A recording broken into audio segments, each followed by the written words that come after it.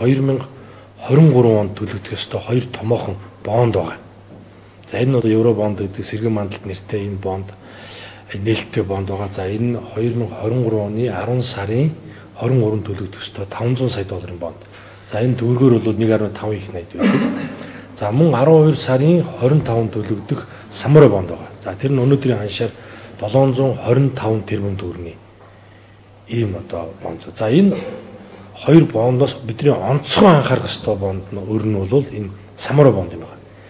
Ямар учиртай вэ гэхээр энэ засгийн газрын баталгаатай. Засгийн газрын баталгаатай.